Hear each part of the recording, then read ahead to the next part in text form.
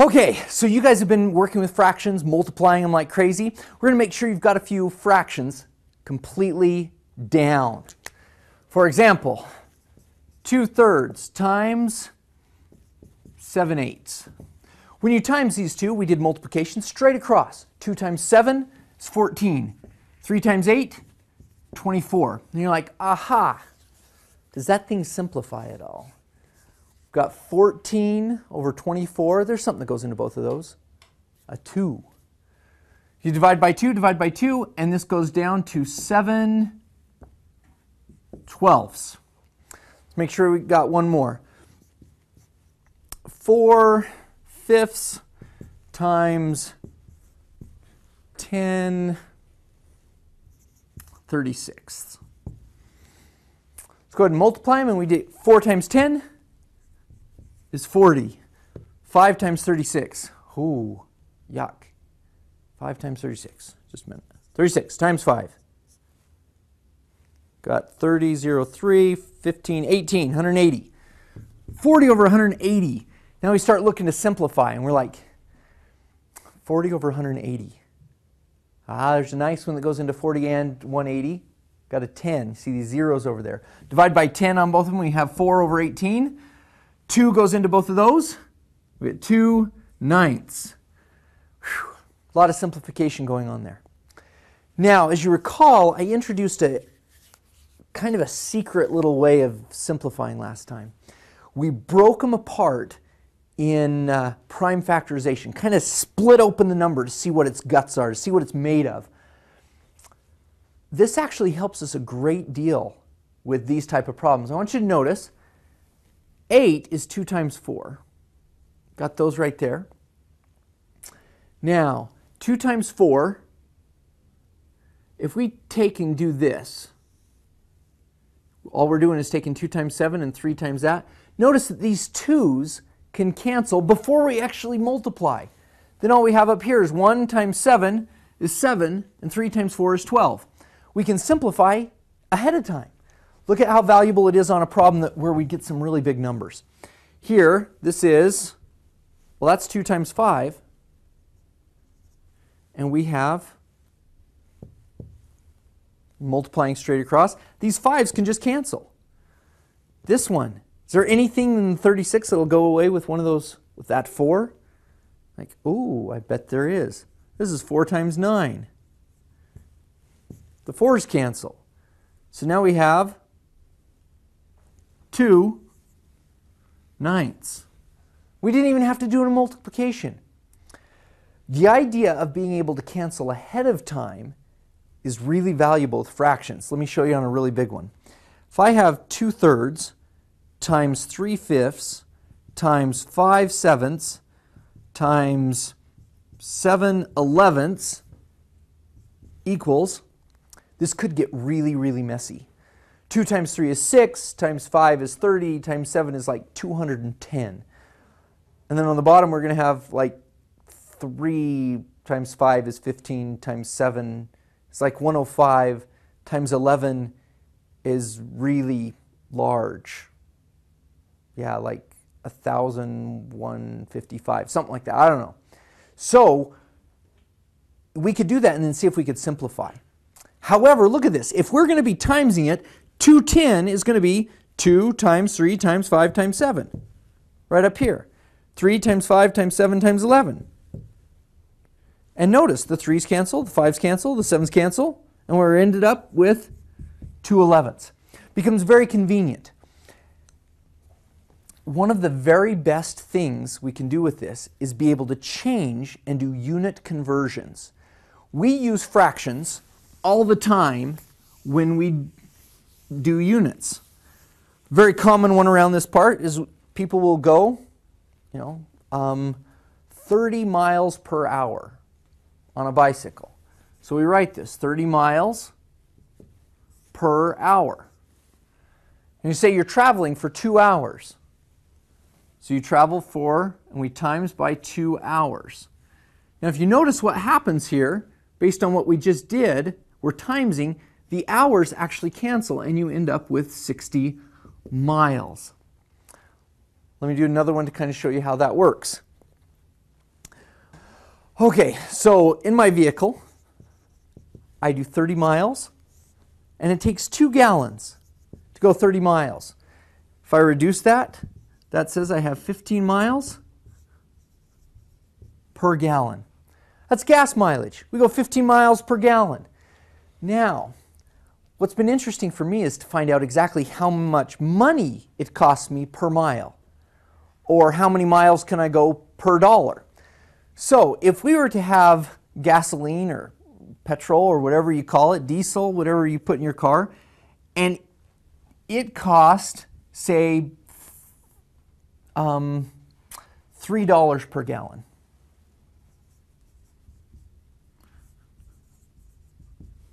In fact, let me write it like this so you can kind of see. $3 per gallon. We can actually do this to change it into miles per dollar, and I'll show you how. If we times this by the fraction, we have one gallon for $3. Look at what happens with this. We can cancel it just like we did here, and we have 15 divided by 3 gives us 5. I end up with 5 miles per dollar. That means I can drive 5 miles with $1. And it gives me a good idea of exactly how much my transportation is costing me. The other really good thing with this, with the unit conversions, is if you're ever exchanging money, you're able to do it quite nicely. Okay, the other thing that you can do with the unit conversions that's really very handy is that you can exchange money, currencies such as um, if you have euros. So I have five euros. You say, okay, how many dollars is that? Well, it says here, I've got a little note here that says right now it's around a dollar thirty per euro. So we have $1.3 per euro. Now, if we times these two together, Look at what happens. Euros cancel and I have 5 times 1.3, $6.5. So I'm going to write up here what I have, that a euro is $1.3. Interesting, a Mexican peso is around 8 cents somewhere in the middle of 2010. That's where it sits. And a British pound was about a dollar fifty a piece. Now, this gets to be kind of a fun game. If you say, okay, I have, let's get an estimation here, just a number to work with. Let's say we had five pesos. We said, let's see if we can find out how many English pounds we have. Well, 5 pesos, it says there is 8 cents, 0.08 dollars per peso. And we have, we're going to times here, with, we need to change into pounds. So it says that one pound is $1.5. Now, here we have the pesos cancel, just like in the, in the fractions. And the dollars now cancel. And look at what we've done. Since the dollars canceled and the pesos canceled, we have 5 times 0.08, so that's 0.40. And that's 0.40 pounds over 1.5, and dollar is gone. So now we have 0.40 divided by 1.5. You can do this divided by 1.5, move your decimal one place, you get 15 into 4.0. So 15 goes into 4, nope. 15 goes into 40 twice, that gives us 30, subtract and we drop down the 0. 15 goes into 100. I believe it's 6 times. And we get 90. And we get 1, 0. I think that's going to keep going for a while. We have 0.26. So that means 5 pesos is going to give you just over one quarter of a British pound. And you're able to exchange with these currencies as long as you have these exchange rates and match them up so that when you have them in one, like dollars here, can cancel with the other one. That allows you to do unit conversions with uh, feet, ounces, inches, miles per hour, miles per gallon, cents per ounce. You're able to do a whole bunch of applications with it. So now let's have some practice. To the boards!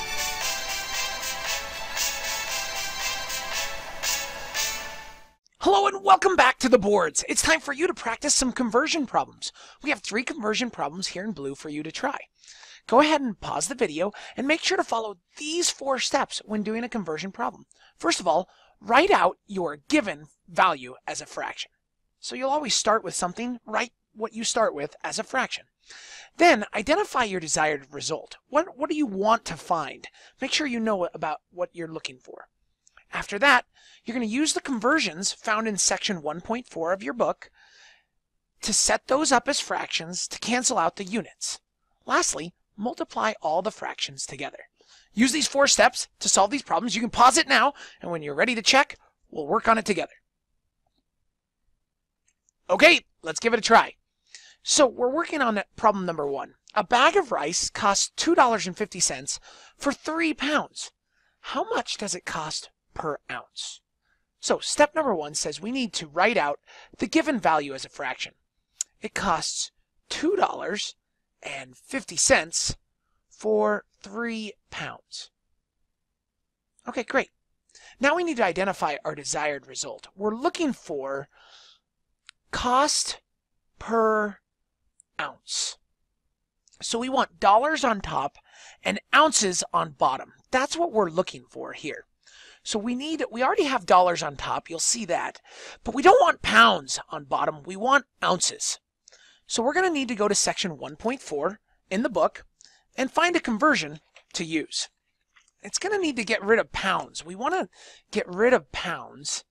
Uh, so if I want to get rid of pounds, I want pounds to be on top because then the pounds would cancel and I'd want ounces on bottom. That would give me dollars on top, ounces on bottom, and the pounds would cancel out. So let's find that conversion in section 1.4. Here we learn that one pound is 16 ounces. Again, that's the conversion that they give you in section 1.4. Excellent.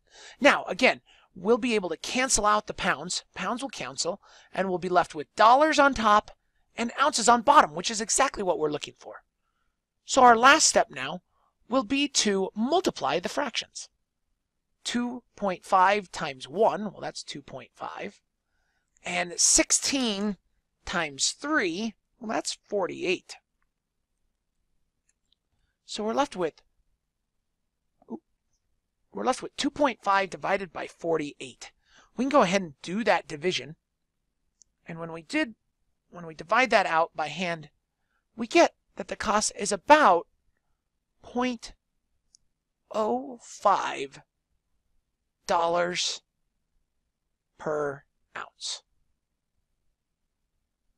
And that's our answer. Okay, great. Let's try it again here with number two. Again, we're going to work on the four steps. Step number one. Write out the given value as a fraction. Let's see what they gave us.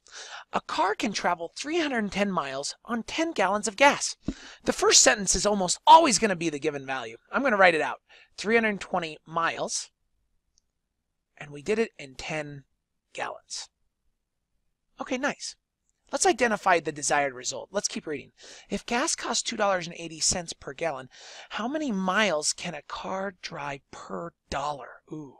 So we are looking for, our goal is to get miles on top and drive per dollar. Now the word per means division. So miles per dollar. I need to get dollars on bottom and miles on top. So notice I already have miles on top. That's great news. But I need to get rid of gallons. My goal will be to get gallons on top we will, so that the gallons cancel out and dollars on bottom. Now they gave us this conversion. We don't need to go to section 1.4 to do this one because they actually told us that it costs $2.80 per gallon. So 2.8 is the cost for one gallon. Now notice, our gallons are going to cancel out, and we'll be left with miles on top and dollars on bottom. Let's multiply across. 320 times 1 is 320 on top, and on bottom we get 10 times 2.8, which comes out to be 28. We can go ahead and set this up as a division problem. We can put 320 into the box and divide it by 28. I'm not going to work that out to save some space, but when you do do that, you get 11.42 as our answer. And so we would say the answer is 11.42 miles per dollar. Excellent. Let's go to the last one. Last one's a little tricky because it's going to involve one additional conversion that we're going to have to use. I think we can do it though. Let's give it a shot.